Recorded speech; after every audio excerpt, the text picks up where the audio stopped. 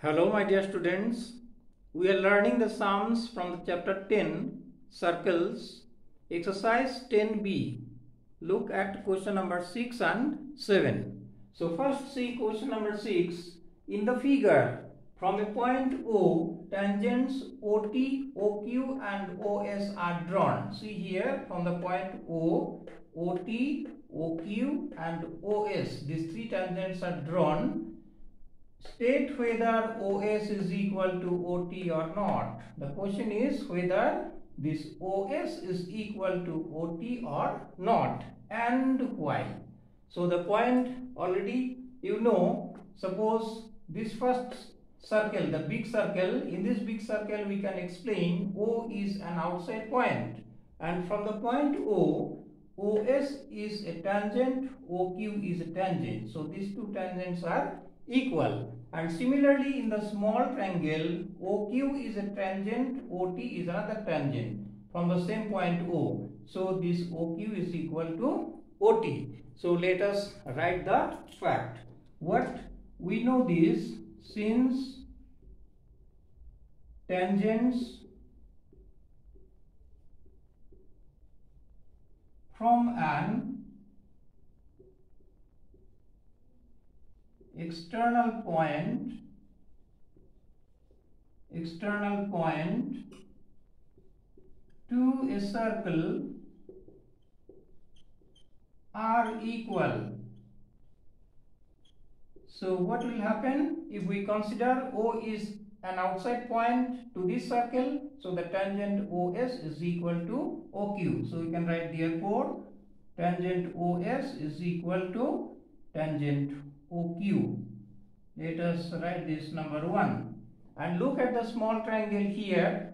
OQ is a tangent, OT is another tangent from the point O. So these two tangents are equal. So we write here also OQ is equal to OQ is equal to OT. This is number 2. So from 1 and 2 see what we can say from 1 and 2. Look here, OS is equal to OQ and here OQ is equal to OT. That means OS is equal to OT. So from 1 and 2, we can write OS is equal to OT. And the question state whether OS is equal to OT or not. So what is? Yes, they are equal. Yes, OS is equal to OT. What is the reason? The reason is tangents from an external point to a circle are equal. It is written in the beginning. So that is the end of the sum. And look at question number 7. In the figure, OA and OB are tangents to the circle drawn from an external point O. Look here is a circle O is a point outside the circle. OA and OB are two tangents from the point O. CD is a third tangent touching the circle at P. Here is CD is another tangent touching the circle at P. If OB is equal to 10 centimeter, given here OB is equal to 10 centimeter and CP is equal to 2 centimeter, this CP, find the length OC. We have to find the length O to C. This much we have to find O to C. O to C. The same point will come from this question number 6. Look here. O is an outside point and OA and OB are tangents to this circle. So OA is equal to OB. So let us write the fact. We can write since tangents from an from an external point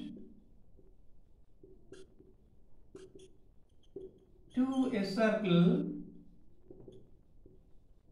are equal. So what will happen? This OA is equal to OB.